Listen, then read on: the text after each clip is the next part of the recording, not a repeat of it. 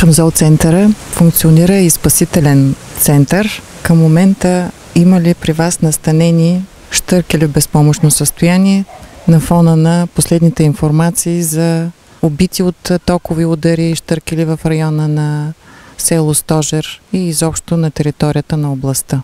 Да, за съжаление много е неприятно, че в днешно време се случва, се случва все още нали, такива инциденти. Редно е да се вземат нужните мерки.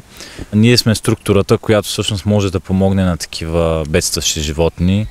За съжаление, разбира се, когато едно животно е електрифицирано и е паднало, умряло, няма какво да направим, но благодарение на Михаил Илиев, който е координатор на природозащитни дейности за, нашата, за, за нашия регион, за нашата част на България. Всъщност той е открил един от штъркелите, че все още е бил жив и ни го докара тук.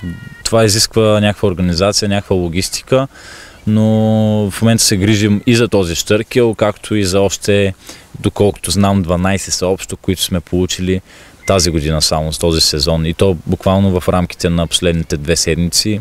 Те вече се групираха, голяма част хиляди излетяха. Тези, които са много възрастни, остават дори да са физически здрави, те не чувстват, че могат да направят тази миграция и остават тук. Съответно, те ще бъдат добре следващите 2-3 месеца, докато все още има някаква храна но с настъпването на понижаващите температури, всъщност тези штъркели ще бъдат бедстващи и обречени на, на глад. Така че ние още от сега ги, ги взимаме, за да се адаптират, да бъдат с а, компания на себеподобни, заедно с всички глараси, които имаме. И другия вариант за пострадало животно е или а, щупено крило поради нали, някаква травма, всъщност. Може и крак да бъде случвало се. Просто моля хората, които се движат по улиците, нали, оглеждайте се, в момента има много мигриращи птици, ние нямаме тази инфраструктура, която да в междуградските пътища да, да предпази птиците. Обикновено в европейските държави има и такива пана, когато има ние сме нали, по, на, на кръстопът всъщност с, а, на Вия Понтик, то, то миграционен път, а, по който наистина минават а, хиляди птици. Така че е хубаво хората да бъдат така по-осъзнати, по-внимателни, когато, когато шофират.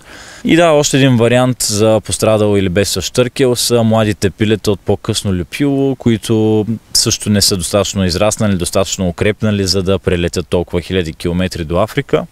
Те също остават при нас. Те имат най-големи и най-добри реални шансове всъщност да един ден отново да, да, да живеят естествения живот на един штъркел, който е да, да прави миграция. Така че тя ги прибираме също с другите, отглеждаме ги до следващата пролет и когато им отворим врати, те ще бъдат свободни да направят някакъв прелет, да пребивават тук през цялото лято, след това да, нали, есенно време да, да излетят. Но всички штъркели, които са пристигнали сега при вас през последните седмици, към момента са в добро състояние, включително и този, който е донесен от района на село Стожер. Да, той е добре, включително и той. Всъщност днес коментирахме с а, зооинженерът ни. Ние винаги правим безпаразитяване, винаги животните минават една а, карантина, в зависимост от това какъв вид са като период. Но да, всички са добре. Имахме само един, който дойде в абсолютно безпомощно състояние. Не знам какво му се беше случило. Той буквално беше с послед... дойде тук за да си, за да си умре, беше с последни, последни, последни сили. Може би беше минала кола през, през него, защото и двата крака бяха щупени, едното крило също. А, и нямаше никакъв реален шанс да го, да го стабилизираме. Само, само това е един, единственият такъв случай за тази година, радвам се който не можахме да направим нищо друго.